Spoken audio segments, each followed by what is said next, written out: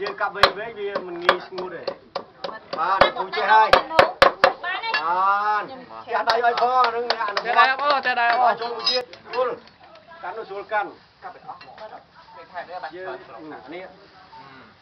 ច្រើនពេកឆោតាក់នេះដាក់ទេអូមកដៃប្រយ័ត្នដៃហើយអាក្រោមនេះយើងដាក់ស្អីតង់ដាក់អីទៅមែនអត់ដល់កាប់ទៅវាខ្ទៀតយើងអាចយកទៅកាលបានដល់ បងចេះហើយបានចេះហើយមួយមួយចូលបាយចាំចូលបានចេះហើយហេតចេះ